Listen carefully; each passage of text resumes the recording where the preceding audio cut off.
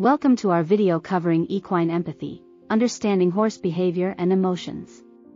In this video, we will explore the complex emotional world of horses and how understanding it can enhance our interactions with them. Horses are social animals and have a complex range of emotions.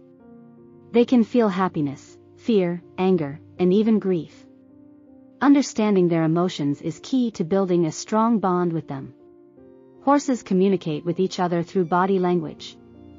By observing their body language, we can understand how they are feeling and respond accordingly. Horses are prey animals and are naturally cautious.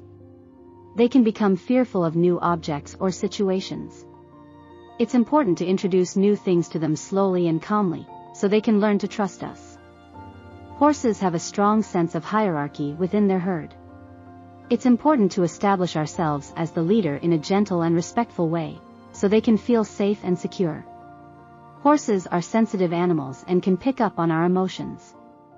It's important to approach them with a calm and positive attitude, so they can feel relaxed and comfortable around us.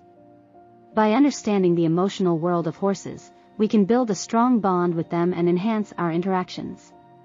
Remember to approach them with respect, patience, and empathy. Thank you for watching Equine Empathy, understanding horse behavior and emotions. We hope you enjoyed this video and learned something new about these amazing animals. Remember to be horse-natured.